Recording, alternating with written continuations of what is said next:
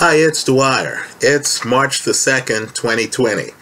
GamblersAdvisory.com, a free site. BettingAngle.us, a free site. Let's talk boxing, but first remember, the opinion you should follow should be your own. Just consider this video to be a second opinion from a complete stranger online. Now, it's always great because the division's unsettled, and because, in my opinion, it's the most important division in boxing. Let's play favorites.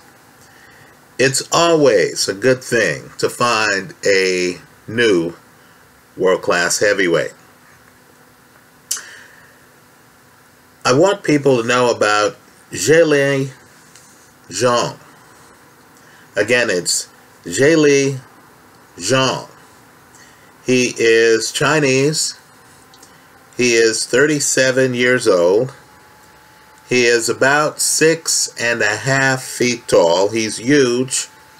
His nickname is the Big Bang. He is a southpaw.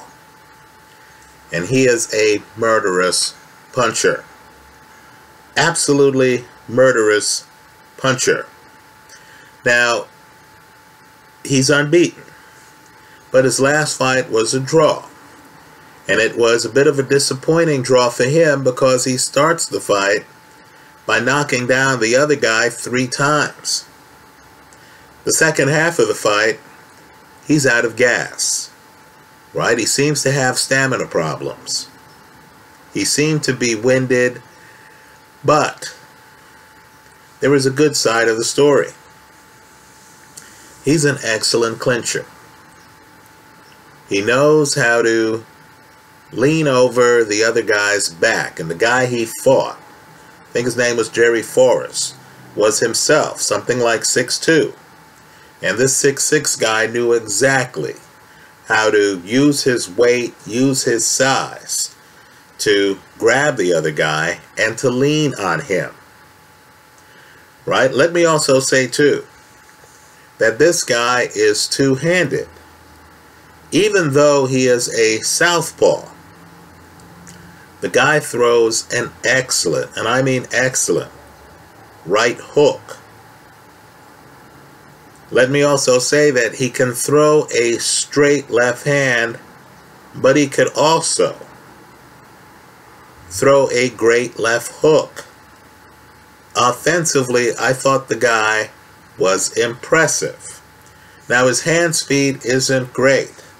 I'll be the first to say that but he's able to make up for it with excellent timing and with combinations. First, he tries to set the table with his jab. His jab is an entree type of jab, not the main meal. In other words, he's not trying to beat you by just using height and length to stay behind the jab and win slow rounds. No, he has the jab as an appetizer then he's going to hit you with punches off the jab. He can lead with power shots. So the first knockdown in his fight against Jerry Forrest, you'll notice he leads with the power shot. Doesn't need to set it up. Is very coordinated for a guy who's six six. Very coordinated. Right? Very hard to defend yourself against because he's cagey. He plays a distance game. He's not a big man trying to just run over you, trying to get up close to you and impose his size on you. No, this is a guy who wants a little bit of a cushion so that he could surprise you with the right hook, with the straight left hand, or with the lead left hook. He could lead with all of the punches. Now, the downside is that the guy appears to have fought people in witness protection. The downside is that after his opponent got drilled three times in the first three rounds, the opponent was able to get off the canvas and outbox him, such that the fight was deemed a draw. Right? Let me tell you, too, the last round is fascinating Zhang seems to be completely out of it. He's holding on, he's struggling. It's so bad that in the last 10 seconds, he turns his back to his opponent to buy time. It works. It got him to the final bell. But my point to you is in the heavyweight division, especially when you're dealing with a guy this big, with this level of power from a southpaw stance, right, who actually has power in both hands. He's not relying on one punch. And a guy who knows to put his hands up. I'm not saying he's defensively blessed, but what I am saying is he's defensively aware. Right? He has decent defense. In other words, this isn't the big guy who thinks he can just run through you. No, this is the big guy who doesn't want to get hit. He has his hands up. He's protecting himself. He's far away. Then he seems able to move in spurts. Right? He has what I call ring coverage. Right? His hand speed again is deceptive. Let me say this too.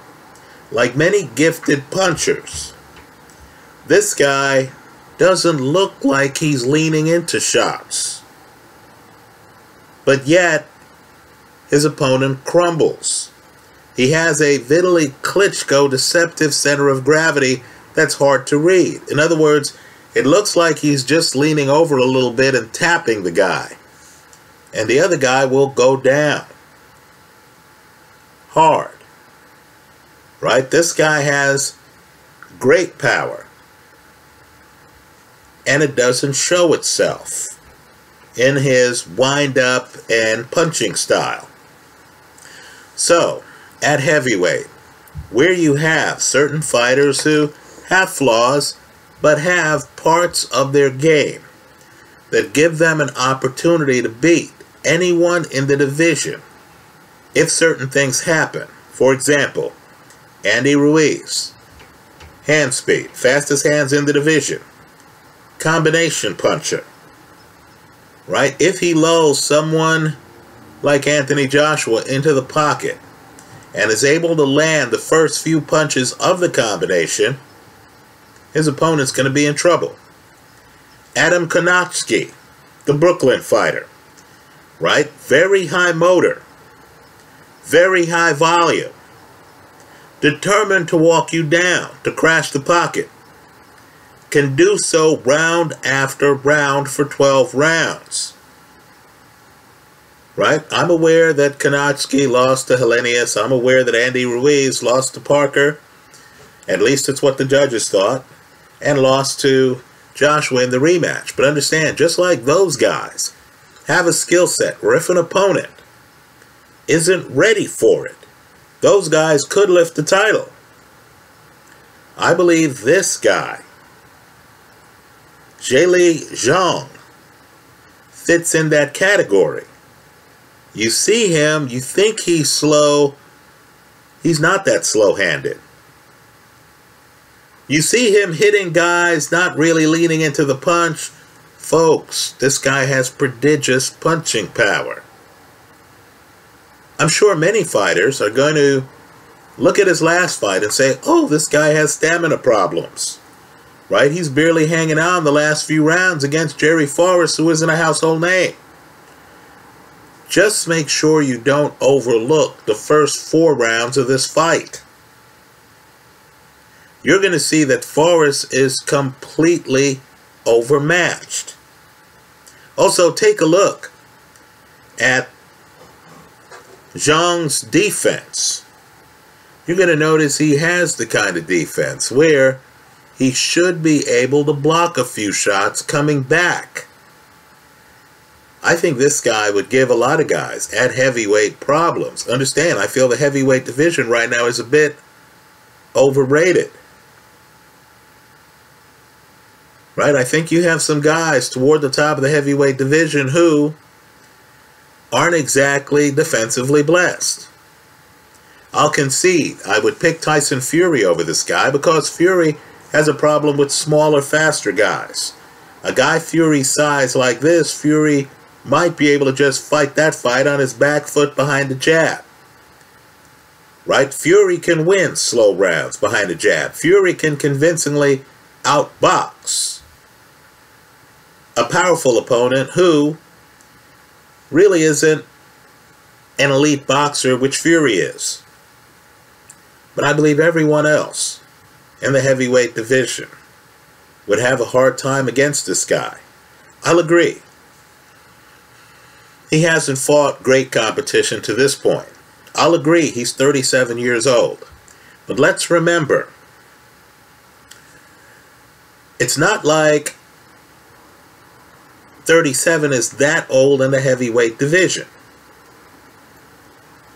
Let me also say, too, that if this guy gets an opportunity against a higher ranked heavyweight, because his calling card is his power, public opinion could flip on him overnight if he's able to score a KO over, let's say, a Dillian Whyte, for example, or a Povetkin, right? This guy has the power to do so. I'm not saying he does. I'm just saying he's better than advertised, especially now since he's facing a lot of public criticism after the recent draw where he collapses in the latter part of the fight. Right? He does have to work on stamina, but let's be real here. A guy with KO punching power in both hands will often have fights where stamina is not an issue, where the fight is over in the first five to six rounds. Right? Let's just say he can throw the gauntlet down to the division and say, okay, who among you think you can last with me that long to make my stamina an issue? I believe the answer to that question is very few. This guy is dangerous, just like you need to keep an eye on Andy Ruiz. Just like, in my opinion, you need to keep an eye on Adam Kownacki. I believe you need to keep an eye on Ling Zhang. Right? This guy, southpaw, two-handed, decent defense. Can hit you to the body, can hit you up top, has an assortment of punches, doesn't have a tell, can lead with power shots. He's dangerous. That's how I see it. Let me hear from you. I'm going to put in my favorites folder here the highlights of his recent fight. Um, I would encourage people to watch the entire fight simply so you could see him deteriorate over the last half of the fight. Right? This is the way heavyweight boxing used to be. I remember George Foreman in the 70s. Right? If you could get Foreman to the later rounds, you were facing a different fighter right? The Jimmy Youngs of the world, guys with skills who could get Foreman to the later rounds, had a chance, right? But understand, that's like asking a guy to climb a mountain to have a chance. A lot of today's current heavyweights won't be able to get by the first half of the fight with this guy. That's how I see it. Let me hear from you. I hope you leave your comments in the comment section of this video. Thanks for stopping by.